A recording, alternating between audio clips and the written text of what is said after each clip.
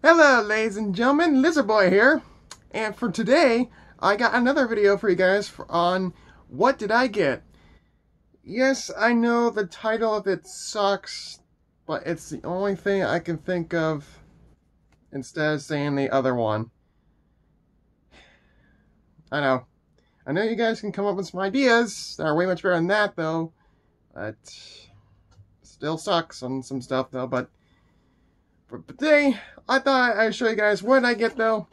I got another special video for you guys. And this one I've been trying to get for quite some time, though. I've been waiting to get this for a while, though. I cannot wait, though.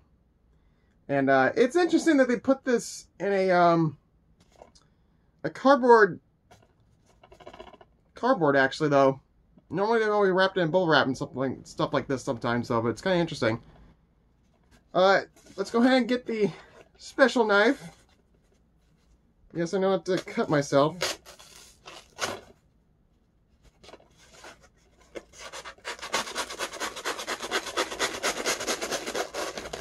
I hope everyone's doing okay still though too though.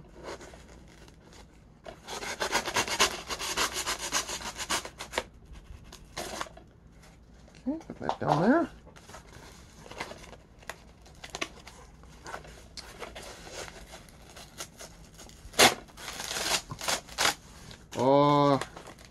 I cannot. I've been wanting to get this for quite some time.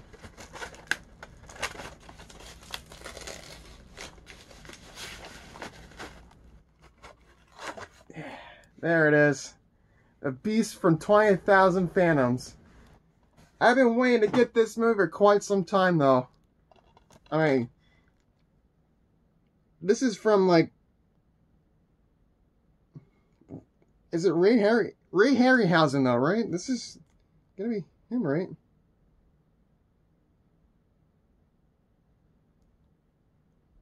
Can't remember.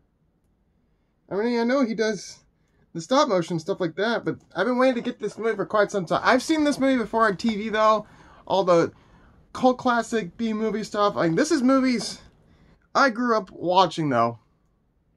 And I've been trying to get this one for quite some time though, and I finally found it though. And I've been growing up with these movies. I have other ones too.